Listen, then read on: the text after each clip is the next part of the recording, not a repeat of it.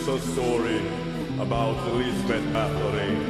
Her blood is ourselves, clean Hungarian blood.